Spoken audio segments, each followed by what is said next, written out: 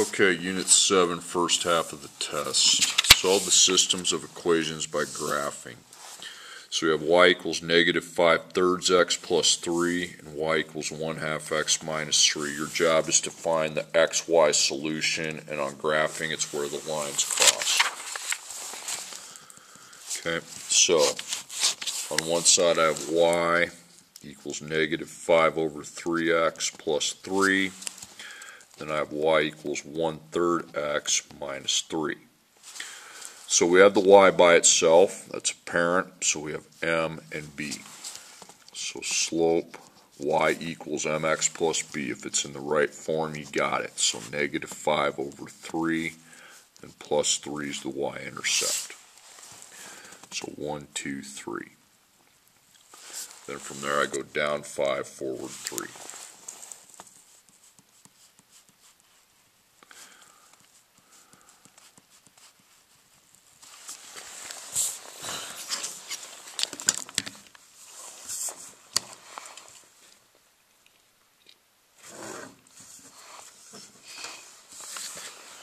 Okay, then the other equation, the y is by itself, and we have our m and b set there. So slope, one third, and the y-int, negative three.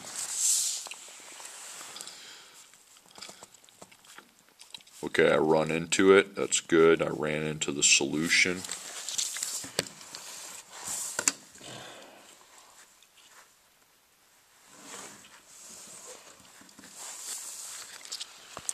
Okay, on the x-axis, we're at 0, 1, 2, 3, positive 3. Then on the y, you're negative 1, negative 2. Okay, so 3, negative 2. Okay, number 2, y equals 3x minus 4, and then we have 2x, that is not a negative, plus 4y equals 12. It Might have been one time, but I might have scribbled it out. We got y equals 3x minus 4, and then 2x plus 4y equals 12. MB. So slope is 3, y int negative 4. 1, 2, 3, 4. Remember, it's 3 over 1, so you go up 3, forward 1.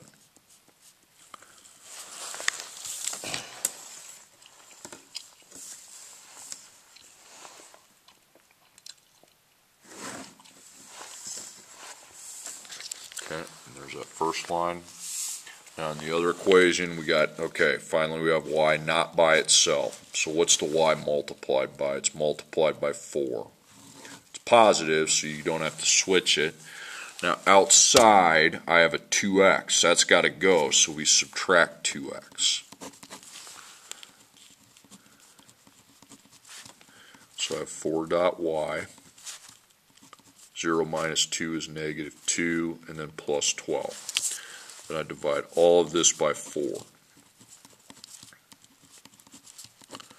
Okay, negative 2 divided by 4 is a decimal, so I leave it negative 2 over 4. You could reduce it if you want. I don't, well, 12 divided by 4 is 3.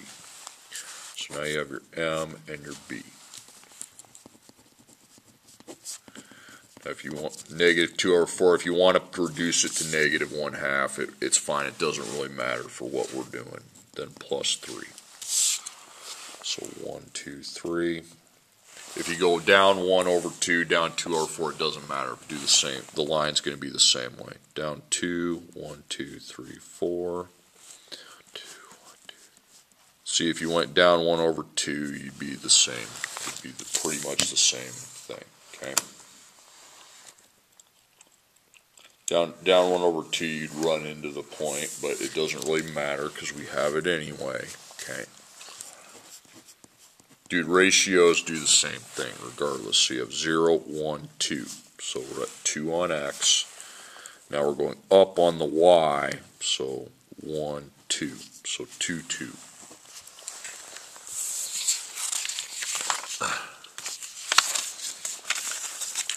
Okay, number three, we have 3y equals negative 6x plus 6. Be careful on that one. 4x plus 2y equals negative 4.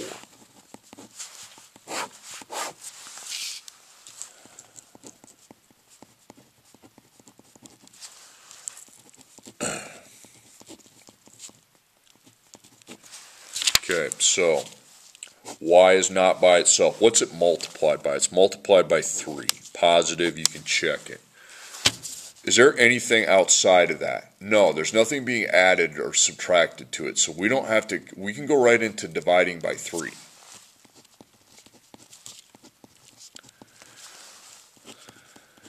So negative 2x plus 2 MB. So negative 2 over 1 and then positive 2. So 1, 2, then I go down 2, forward 1.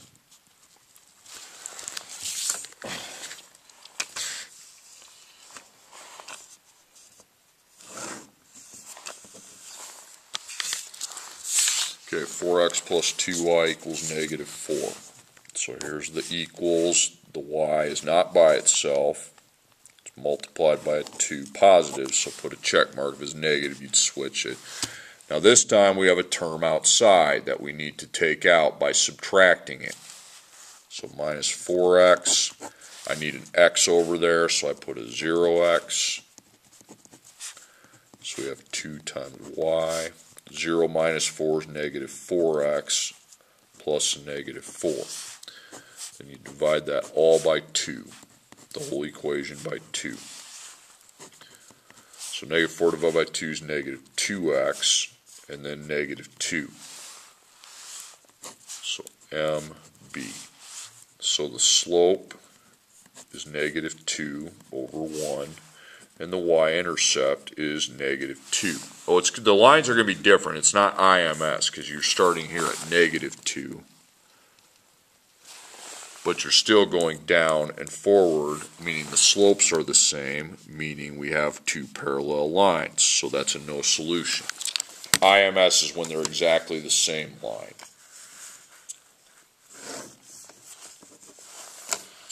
Parallel lines results in an answer of no solution.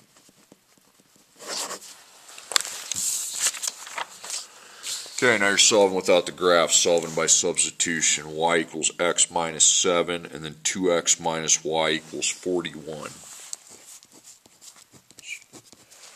Okay, substitution means you have to find a base, and you have one right there with your y. That's your base. Okay, now write the off base you are going to want to apply a 1 in front of the y because y is the base and a parenthesis goes to y and not putting the 1 there means I won't have a multiplier which is not good. That's going to be x minus 7. Okay, so 2x minus 1 parentheses, now I insert the x minus 7 equals 41. Okay, that's a negative 1 that you're going to distribute, and you can put a 1 in front of the x plus negative on the 7. So I distribute the negative 1 to the 1x and the negative 7. That means I'm multiplying. So it's going to be negative 1x, and that's positive 7. And don't forget to add your 2x in the front. Okay, okay so I V those. It's going to be 1x plus 7 equals 41. I got a multiplier of 1. By the way, if your multiplier is 1, you can just take it off. You, I mean, you can just go forward with it. That's 34. Then divide by 1 is 34, so x is 34. There's no way I would have found that on a graph. I mean, how many graphs do I make that go to 34 on the x's? Not very many. Okay, now use your base to find the y because that's got the y by itself. So y, x is replaced with 34. It doesn't have to be multiplied because there's no multiplier in front. You can put a 1 there and multiply if you want, but it's still 34. So y equals 34 and either minus 7 or plus negative 7. Now y is by itself, so we just v those and combine the terms. That's 27. I answer. Okay, number five, three x minus five y equals thirty, and then x equals negative two y minus one.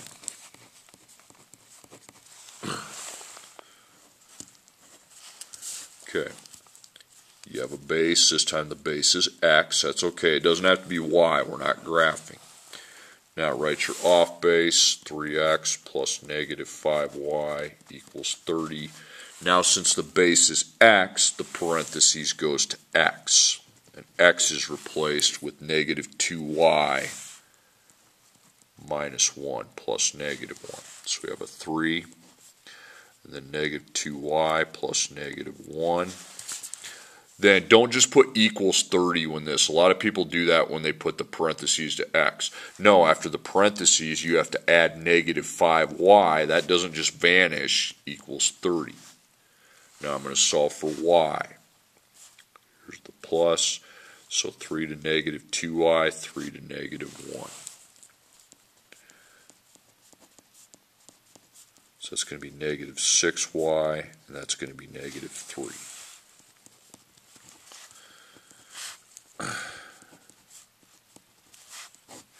then plus negative 5y. Now we combine our y's when they're on the same side like that, so it's going to be negative 11y plus the negative 3 constant equals 30. Okay, so we have times and plus, so you get rid of your negative 3 by adding 3, and that's 33.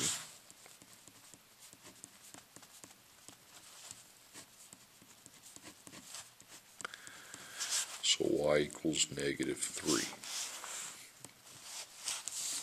to find x, we go x equals negative 2y minus 1. So you're going to substitute negative 3 in for the y because that's your answer.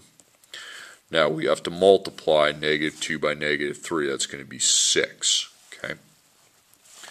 And then x equals 6 minus 1. If you want to make it plus negative, whatever, but it's still 5. Okay. 5, negative 3. Okay, solve by elimination. Elimination, there's not going to be a base. Okay, elimination is where you align it into columns. Okay. Now, either the x column or the y column has to add to 0. Well, that's 3 and that's 6. Well, but we do have a column that has the same term. If we just make one of them into a negative, they would add to 0. So negative 2x would be negative, and so would the 4. So now I get 0y out of that. y is eliminated. 1 plus negative 2, 2 is negative 1x, and then 11 plus negative 4 is 7. Now divide, and you're going to have your x which is negative 7. x is negative 7. Pay attention to what the variable is. Okay, now to find y, you don't have a base, just use the first equation. 1x plus 3y equals 11. Well, I just got my answer for x, so it would make sense to replace the x with negative 7. Now find that product really quick. That's negative 7. So you have negative 7 plus 3y equals 11. So the y is not by itself here, obviously. It's got operations on its side. So plus and times. So you plus 7 to get 18.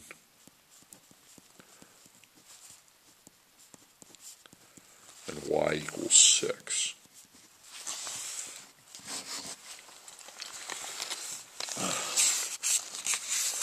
Okay, number seven, 2x plus 4y equals negative 12, negative 6x plus 5y equals 2.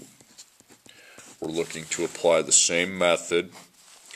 That is not 0, that is not 0, and we don't have the same thing, so I guess we're multiplying. I'll multiply the top by negative 6 and the bottom by 2 really, to be honest, you don't have to multiply. You have to multiply, but you could just as well multiply by 6. It doesn't really need to be multiplied by negative, but I'll do it just so you don't get freaked out. So negative 6 times 2x is negative 12x. Negative 6 times 4y is negative 24y. And then negative 6 times negative 12 is positive 72.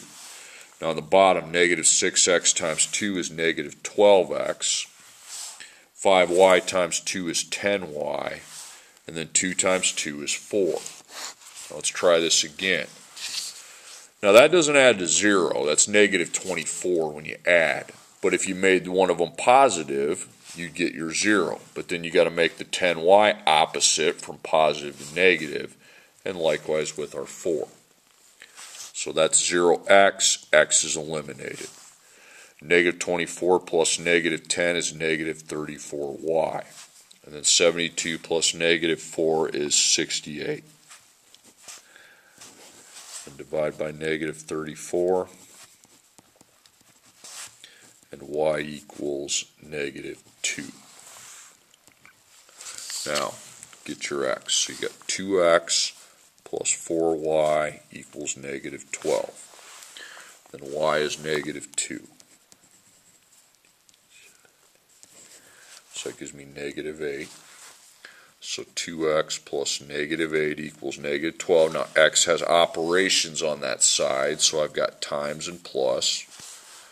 So you plus 8, plus 8, negative 12 plus 8 is negative 4. Then I divide by 2 Negative 4 divided by 2 is negative 2. They can be the same. Okay, then I hate these next ones just as much as you do. Okay. y is less than or equal to 2x minus 3. y is greater than or equal to negative 2x plus 2. I need to highlight the region with shading that represents the solution to the system of inequalities. Okay, so First, I'm going to test out A. So, y is less than or equal to 2x minus 3. Y is greater than or equal to negative 2x plus 2.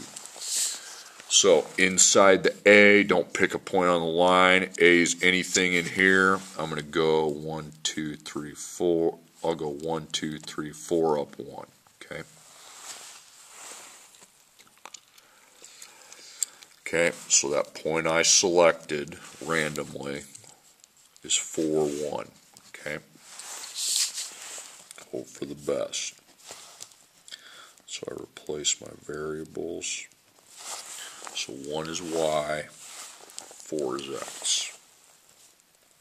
So I have a 1 over here. 2 times 4 is 8. 8 minus 3 is 5. That's a yes. Gosh, I hope this one is. Okay.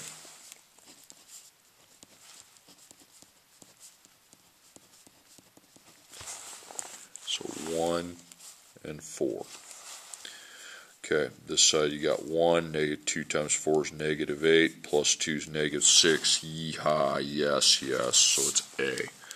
Now, A is in this region. Don't cross the lines when you highlight, okay? You're highlighting this A space.